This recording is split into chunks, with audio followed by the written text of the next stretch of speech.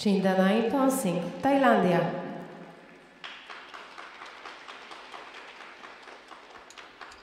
Well, for Chindanai, just 15 years old, probably not as much ice time as many of the other skaters get. Maybe started a little bit later, but the rotation position in the air is just open and a little bit loose, so needs some work on that.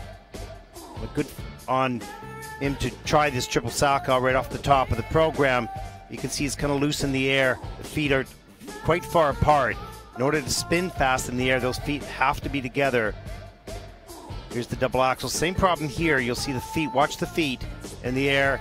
They're quite far apart. They need to be tucked together. Be a little bit more streamlined in that rotation position. There's the double flip. No problem there. Right up into the flying sit spin. In at a level two, so it gets two features on that flying sit spin at the end of the program. So downgrade on the triple Salchow, downgrade on the double axel.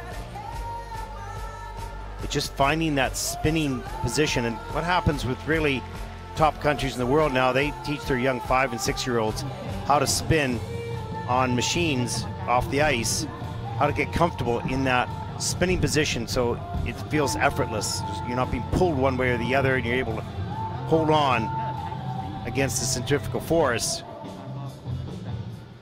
And when you get comfortable in that spinning position, it's good for your spins on ice and also obviously great for the jumps as well.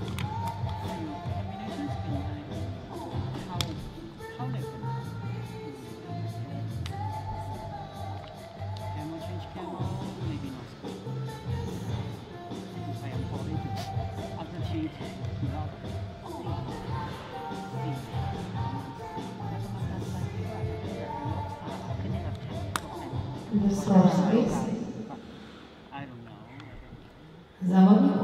programie krótkim dla Sure program score is 27.49, and that'll be Chindanai currently into 12th place.